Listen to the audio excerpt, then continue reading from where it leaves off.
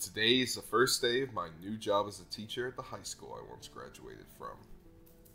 Other than the fact that how damn early I had to get up, I was 100% ecstatic and ambitious towards what may happen on my first, ba- first day back here. 5:30 a.m. came all too quickly. I was in and out of the shower, dressed and ready, coffee in hand by 5:55. I hastily locked up my apartment and made my way to my car. I fumbled around a little in the darkness while trying to get into my car, but I eventually got it. I started to drive down my street. I had to take it slow due to the ice. Lots of ice. A black figure began to appear in my field of vision.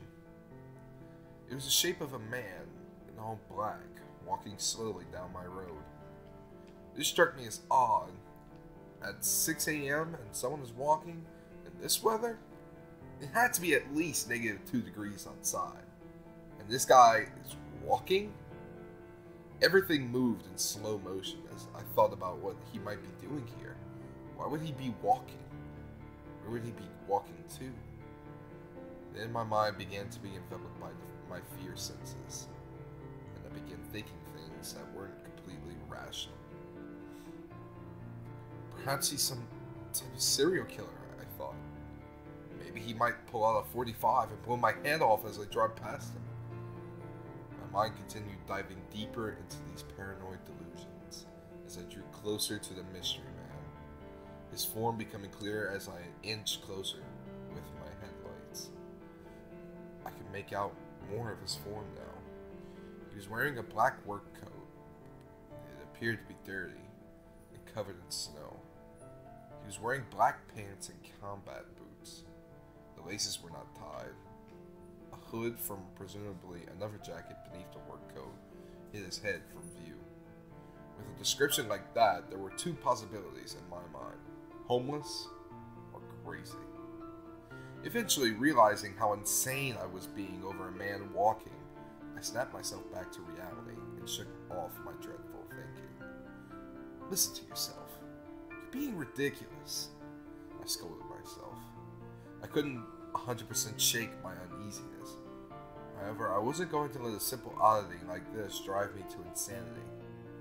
I brushed off whatever trance I was in and continued diving towards him. But then, however, something happened that I never saw coming. The man stopped walking. He'd stood there in my headlights, and as soon as I noticed, he had stopped. I slammed on my brakes and halted as well. My heart began to race and my stomach did loops for reasons I didn't understand. I do now. He started to turn towards me. He was going to look at me as he slowly turned. My heart pumped faster. Then to my horror, I finally saw the face of this man. If you could even, could even call it a man. His eyes were shrouded in the blackness that was darker than the night around us. His white pupils glowed in the center of those pits as he stared into my very being. His nose wasn't there. In its place was a crude sewing together of the flesh around it, pulling his skin tightly across his bony face. His lips were non existent, revealing every single one of his jagged, chipped, decaying teeth. His gums were rotted and frostbitten, and he was as pale as the snow around him. He made eye contact, and as we did, my heart grew to a pace I didn't think possible.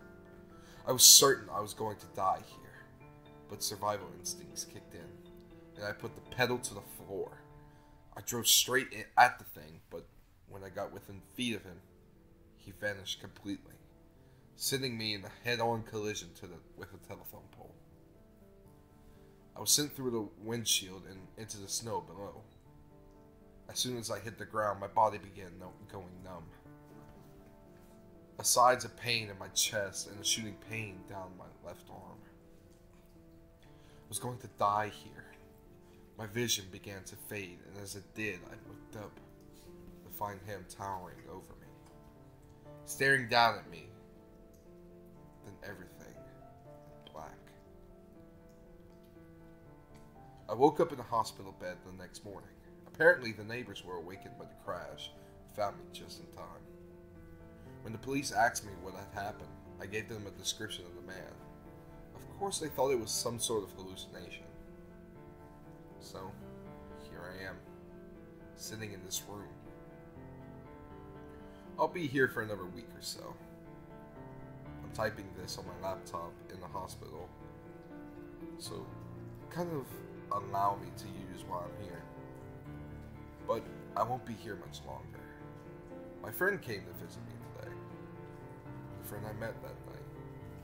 The friend who tried to show me the true world. He's here now. He's sitting next to me, telling me everything is going to be okay.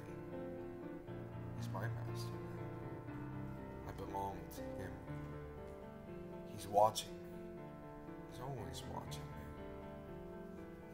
the day I was born until the day I die. And he's watching you